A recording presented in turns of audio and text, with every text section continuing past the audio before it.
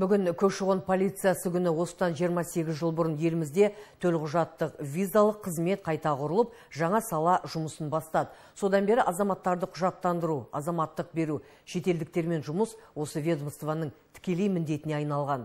Біздің телеарна тілшілері көші-қон бағытындағы атқарылған іс пен қазіргі ахуалды біліп келді. Көші-қон қызметі еліміздің ішкі істер саласындағы күрделі құрылымның бірі. Негізгі міндеті ішкі және сыртқы көші-қонды бақылауда ұстау. Соның ішінде азаматтарды құжаттандыру, оларды тіркеу осы саладағы қызметтердің жұмысы. Сондай-ақ шетел азаматтарын да қадағалайды. Жаңа сыртқы көші-қонды емсінде келіп жатқан шетелдіктерді елімізге шақыру, олардың құжаттарымен қамтамасыз ету, келгеннен кейін тіркеу жүргізу, олардың Қазақстан Республикасы азаматтығын алу, азаматтықтан шығу және жоғалту сияқты сұрақтармен айналысамыз.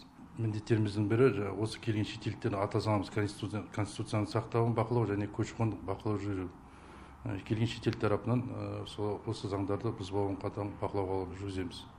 Осы саланы таңдаған Сапар Нұрланұлы өз қызметін 2007 жылы бастаған. Екі жыл бойы Ақтау қаласындағы анықтау бөлімінде жұмыс істеп, кейіннен Ақтөбедегі көші-қон қызметіне ауысқан. Ол жұмыс кезінде түрлі қиындыққа кезігетінін айтты. Енді осы көші-қон саласында жұмыс өте қызықты шетел азаматтарымен жұмыс істегесін азаматтарды құжаттандыру бойынша сол себептен осы қызметті таңдадым.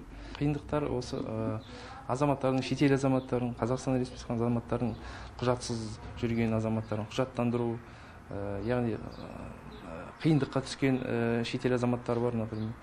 Сол сол мәселе бойынша жұмыс жасау оларды құжаттандыру қазақстан республикасының аумағынан шығару.